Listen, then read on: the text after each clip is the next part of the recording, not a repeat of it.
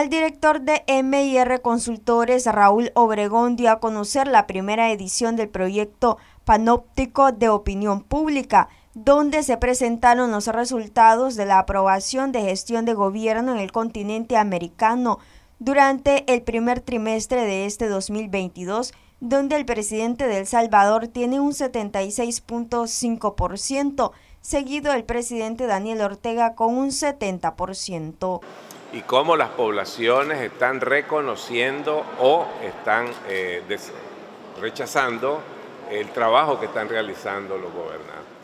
Y yo creo que de alguna manera pues esto debe de ser una, una expresión ¿no? de, la, de la de, cuáles son las inquietudes que tienen los pueblos en América Latina y en el continente. Pues. Lo que estamos viendo en esto y que lo venimos revisando en el tiempo es que los pueblos responden y aprueban la gestión de gobierno que es coherente, lo que les ofrecieron se está cumpliendo, que trabajan día a día en pro de eh, los intereses, los problemas, las preocupaciones de la población y que además de eso son, si vemos los resultados, son gobiernos que tienen una alta dosis de eh, autorrespeto a, su autodeterminación, a su soberanía este, y a, tratar de ser, eh, de no estar alineado con nadie.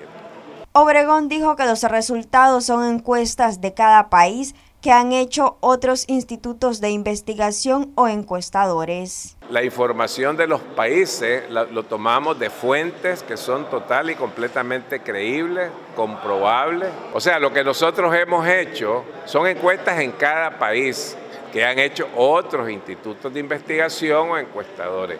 Nosotros lo que estamos haciendo aquí es organizar, captando información, organizándola y sistematizándola para empezárselas a presentar a ustedes periódicamente. Noticias 12 Darlene Telles.